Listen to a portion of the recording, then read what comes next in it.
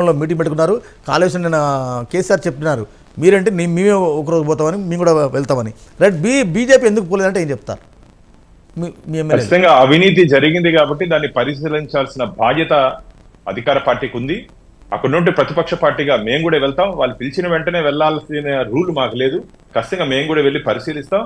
అవినీతి ఎవరు చేసినా సరే దాన్ని ఉపయోగించే పరిస్థితే లేదు. ఖచ్చితంగా అవినీతి చేసిన జైల్లో ఉండాలి. అవినీతి చేసిన వాళ్ళు తీసుకుని వచ్చి మళ్ళా అసెంబ్లీలోనో ఈ చట్టసభలోనే ఉంటే మంచిది కాదు. కాబట్టి దీని మీద పూర్తి స్థాయిలో విచారణ జరగాల్సిన అవసరం ఉంది. ఖచ్చితంగా దీని వెనక ఉంటే పాత్రదారులు సూత్రధారులు కమిషన్దారులు వాటాదారులు అందరూ బయటపడే పరిస్థితి తొందరలోనే ఉంది. ఒకటి ఇప్పుడు అక్కడ ఉన్నటువంటి ప్రభుత్వాలు ఇచ్చినటువంటి గ్యారంటీల్ని అమలు పరచలేని పరిస్థితిలో కాంగ్రెస్ ప్రభుత్వం ఉంది. ఎందుకంటే దాదాపు ఇరవై నెలలే సారీ రెండు నెలలే అయింది వచ్చి అధికారంలో వచ్చి. కానీ ఓటు కోసం గెలుపు కోసం హామీలు ఇచ్చేసి అధికారంలోకి వచ్చిన తర్వాత అరే ఖజానా ఖాళీ అయిపోయింది ఏ విధంగా హామీలు అమలు పరచాలని చెప్పి ఒక కన్ఫ్యూజన్లో అక్కడ కాంగ్రెస్ ప్రభుత్వం ఉంది. ఈ దాదాపు ఈ పది సంవత్సరాలు అవినీతిలో కూరుకుపోయినటువంటి బీఆర్ఎస్ మొత్తం పైసా పైసా కక్కించే బాధ్యత ఖచ్చితంగా భారతీయ జనతా పార్టీ కూడా తీసుకుంటుందండి. ఈ రోజు మాకు అధికారంలో ఆ తెలంగాణ సార్ మీరు ఏం అధికారంలో తీసుకుంటారు సార్? లేకపోయినంత సెంట్రల్లో మీరు మాత్రాన కేంద్రంలో అధికారంలో ఉన్నారు. మోడీ గారు వచ్చారు నడ్డా గారు వచ్చారు ఏటీఎం అన్నారు కేసీఆర్ ఫ్యామిలీ అన్నారు. మీరేం చర్యలు తీసుకోలేదే? అసలు కనీసం ఎంక్వైరీ కూడా చేయలేదే? వెంకటన వెంకటన ఫెడరల్ సిస్టమ్లో రాష్ట్ర ప్రభుత్వానికి కొన్ని ప్రత్యేక అధికారులు ఉంటాయి. అధికారం ఉన్నప్పుడు వాళ్ళ ఇష్టానుసారంగా వ్యవహరిస్తారు అక్కడ. అధికారులు కానీ ఇంతకుముందు పుల్లారావు గారు చెప్పినట్టు అక్కడ ఉంటే అధికారులు అధికార పక్షానికి తొత్తులుగా పనిచేస్తారు. కాబట్టి అధికారం ఉన్నప్పుడు బయట ఏమి వచ్చే అవకాశం లేదన్నా ఈరోజు అధికారం కోల్పోయారు కాబట్టి పూర్తిగా పూర్తి స్థాయిలో అన్ని నివేదికలు బయట వస్తాయి దాని మీద భారతీయ జనతా పార్టీ ఖచ్చితంగా నిలదీస్తుందని చెప్పి మీ ద్వారా తెలియదు ఎస్ వాసుదేవ్ రెడ్డి గారు సార్ నిన్న మీరు మేడిగడ్డ రేవంత్ రెడ్డి గారి టూర్ అంతా ఫాలో అయ్యారు.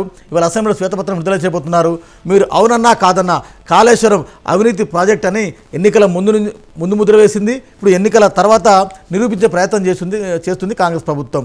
ఓవరాల్గా ఏ పిల్లలు కుంగింది ఎంత కుంగింది ఎంత ఎన్ని కోట్ల అవినీతి జరిగింది ఓవరాల్గా ఇవాళ శ్వేతపత్రం విడుదల చేయబోతుంది అంటే ఈ అవినీతి మరకల్ని మీరు ఎలా కడుక్కుంటారంటే ఏం చెప్తారు? మీట్లో ఉన్నారు మిత్రమా? మీట్లో ఉన్నారు.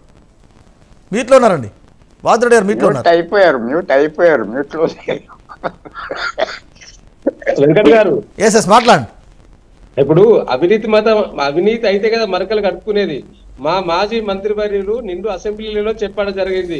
మీరు విచారణ చేయండి విచారణ చేస్తే దోషులు ఎవరైనా శిక్షించండి. దానికి మేము కూడా సహకరిస్తామని మేము స్వయంగా ఫస్ట్ అసెంబ్లీ జరిగినప్పుడే చెప్పినాం. వారు శ్వేతపత్రం ఆ ఫైనాన్స్ మీద కావచ్చు లేకపోతే పవర్ మీద కావచ్చు కొన్ని శ్వేతపత్రాలు విడుదల చేశారు గతంలో అసెంబ్లీ జరిగినప్పుడు. సో అప్పుడే మీరు స్వయంగా చెప్పడం జరిగింది.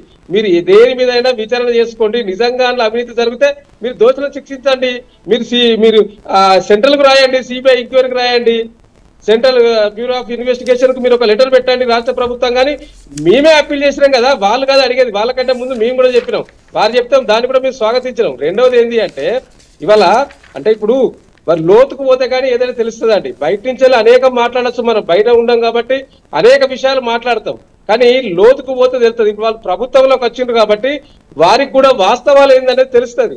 ఇవాళ డైవర్ట్ విషయాన్ని డైవర్ట్ చేయడానికి మాట్లాడుతున్నారు తప్పితే నిజంగా కాళేశ్వరం మీద అవినీతి అక్రమాలు జరిగి ఉంటే నిజంగా జరిగి ఉంటే మరి గతంలో బీజేపీ నాయకులు మీరు ఇంతకుముందు కూడా వెంక- గారు చెప్పారు మీరు ఆ భానుప్రసాద్ అన్నకు. సో కాబట్టి నిజంగా ఆనాడు అనేక సందర్భాల్లో చెప్పింది బీజేపీ ప్రభుత్వం. ఇంక్వైరీ చేస్తాం లోపటేస్తాం అరెస్టులు చేస్తామని. కానీ నిజంగా జరిగి జరిగి లేదు కాబట్టి వాళ్ళు ఏం చేయలేకపోయిండు రెండవది ఇలా కాంగ్రెస్ పార్టీ ఆ అధికారంలోకి వచ్చింది. ఇప్పుడు వాళ్ళని కూడా మేము కోరుతా ఉన్నాం. ఇది నిజంగా ఏంది అంటే ఇప్పటిదాకా నేను చెప్పినట్టు బట్టగాల్చి మీదేసి కాళేశ్వరం ప్రాజెక్టును బూచిగా చూపించి మీరు లక్ష కోట్ల అవినీతి జరిగిందని చెప్పి పదే పదే చెప్తా ఉన్నారు. రేవంత్ రెడ్డి గారే చెప్పారు తొంభై ఏడు వేల కోట్లు ఖర్చు పెట్టిందని లక్ష కోట్ల అవినీతి ఎట్లా జరుగుతుందండి? తొంభై ఏడు వేల కోట్లు ఖర్చు పెడితే? ఇంకో క్వశ్చన్ ఇంకో క్వశ్చన్ నిన్న నల్లగొండలో కేసీఆర్ గారు పదే పదే చెప్పారు. మీ వెంటబడతాం మీ మిమ్మల్ని వెంటాడతాం మిమ్మల్ని ని- నిద్రపోనివ్వం పిల్లిలా పారిపోను పుల్ల అంటారు. కానీ నిన్న రేవంత్ రెడ్డి గారు వారి కౌంటర్ ఏం చెప్పారు? మీరు మీరు వేటాడతారా? అలాటప్పగా మేము ఏమైనా కూర్చుంటామా? అంటే మీరు అవినీతి బయట పెడుతుంటే ఎదురు దాడి చేస్తున్నారు అని.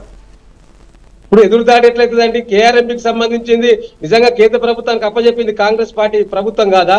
రెండు రెండు మీటింగ్లు జనవరి పదిహేడో తారీఖు నాడు ఫిబ్రవరి ఒకటో తారీఖు నాడు మీటింగ్లు జరిగితే ఆ మీటింగ్ల సారాంశం ఏంటండి రెండు రాష్ట్రాల ఈఎన్సీలు బయటకు వచ్చి మాట్లాడిన సందర్భం కాదా? ఆ- ఆ యొక్క ప్రాజెక్టు సంబంధించి ఉద్యోగస్తులను పెడతాం. అక్కడ మా మా ప్రభుత్వం నుంచి సహకరిస్తాం. మా ప్రభుత్వం నుంచి సహకరిస్తాం. ఇద్దరు ఏఎన్సీలు మాట్లాడలేదా? ఈ విషయం లేట్గా తెలిసింది. కనీసం నిజంగా వారికి నిజంగా తెలిసి తెలిసి ఉంటే పదిహేడో తారీఖు నాడు జనవరి పదిహేడో తారీఖు నాడు మాట్లాడితే పద్దెనిమిదో తారీఖు నాడు పత్రికలకు వస్తే కనీసం పంతొమ్మిదో తారీఖు నాడు కూడా ప్రెస్ మీట్ పెట్టి ఖండించలే కాంగ్రెస్ ప్రభుత్వంలో ఉన్న ప్రజాప్రతినిధులు కావచ్చు మంత్రులు కావచ్చు. మా మాజీ మంత్రి హరీష్ రావు గారు మా ప్రెస్ మీట్ పెట్టేదాకా కూడా రేవంత్ రెడ్డి విషయం. తెలియదు. వారికి అవగాహన లేదని చెప్పేది అందుకే కదా. అంటే మీకు ఏం జరుగుతుందో కూడా తెలియలేకపోయింది. మీరు దీని విషయంలో అందుకనే ఈ ప్రాజెక్టుల విషయంలో. మిమ్మల్ని వెంటాడతాము. ఒక ప్రభుత్వంగా ఇవాళ మా నాయకుడు ఏం చెప్పిండు? మీరు ప్రతిపక్షాన్ని సెంట్రల్ గవర్నమెంట్ కేంద్రానికి దగ్గర తీసుకెళ్ళండి. మేము కూడా మీ పక్షాల నుండి కొట్లాడతామని నిన్న కేసీఆర్ గారు సభా వేదిక నుంచి చెప్పింది. వాస్తవం కాదా? వెంటాడతాం వేటాడతాం అంటే అర్థం ఏంటి అండి మీరు మేము ప్ర- ప్రజలు మాకు ప్రతిపక్ష హోదా ఇచ్చిండ్రు. ప్రజల సమస్యల పైన పోరాటం చేసేయాల్సిన బాధ్యత మాకు ఇచ్చిండ్రు కాబట్టి ప్రజల పక్షాన నిలబడతాం. ప్రజల పక్షాన మిమ్మల్ని నిలదీస్తామనే విషయంలో దాంట్లో అర్థం అనే విషయం మీరు గమనించాలనే విషయాన్ని సందర్భంగా మీరు అవినీతి జరగలేదు అక్కడ ఏం జరగలేదు మీరు అవినీతి ప్రజలకు ఇచ్చిన వాగ్దానాల అవినీతి